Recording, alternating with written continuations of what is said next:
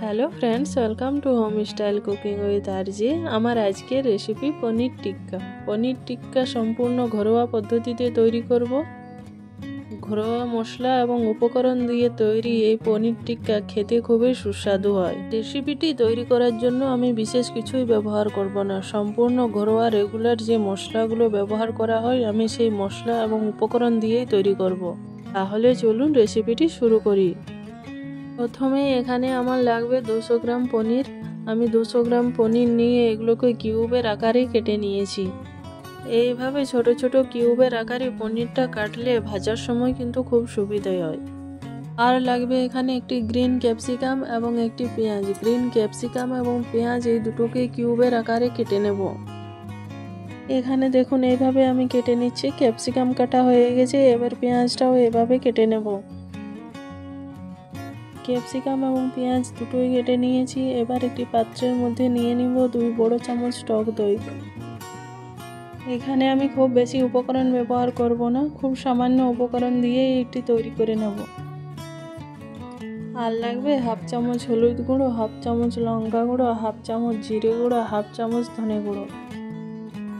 জিরে গুঁড়ো এবং ধনে গুঁড়ো আমি হালকা রোস্ট করে নিয়েছি। আর লাগবে চার ভাগের এক ভাগ গরম মশলার গুঁড়ো। পরিমাণ মতো লবণ দিয়ে মশলাটা হাতের সাহায্যে ভালোভাবে মেখে নেব। দেখুন, এখানে আমি ভালোভাবে মশলাটা মেখে নিয়েছি। এবার দিয়ে দেবো কেটে রাখা পনির, ক্যাপসিকাম এবং পেঁয়াজ। এগুলো দিয়ে ভালোভাবে মশলার সাথে মেখে নেব। ভালোভাবে মশলার সাথে মাখবো যেন সব সব কিছুর মধ্যে মশলাটা সমানভাবে থাকে।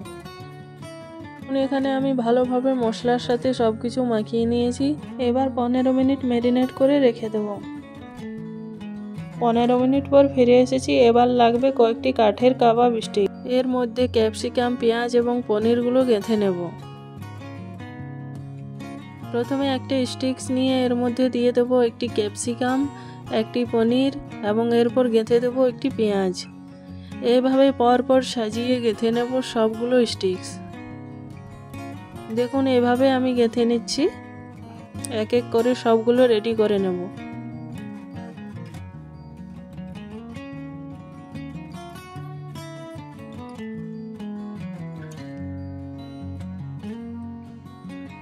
স্টিক্সগুলো গাঁথা হয়ে গেছে, এবার ভাজার পালা। চুলায় কড়াই গরম করে এর মধ্যে দিয়ে দেব তেল। পরিমাণ মতো তেল গরম করে নেব। খুব বেশি তেল ব্যবহার করব না, অল্প একটু তেল দিয়ে এগুলো ভেজে নেব। তেল গরম হয়ে গেছে, এবার এক এক করে স্টিক্সগুলো কড়াইয়ের মধ্যে দিয়ে দেব। এখন অবশ্যই গ্যাসের ফ্লেমটা লো রাখতে হবে। লো ফ্লেমে ভালোভাবে এগুলো ভেজে নেব। একটু বেশিক্ষণ টাইম নিয়ে এগুলো ভালোভাবে উল্টে পাল্টে ভাজতে হবে।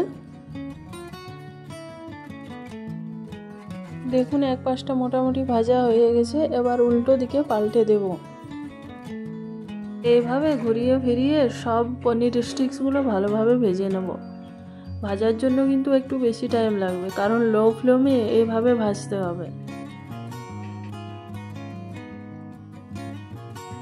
তো পনির স্টিক্সগুলো ভাজা হয়ে গেছে, এবার গরম গরম নামিয়ে পরিবেশন করে নেব। দেখুন কি সুন্দরভাবে ভাজা হয়েছে।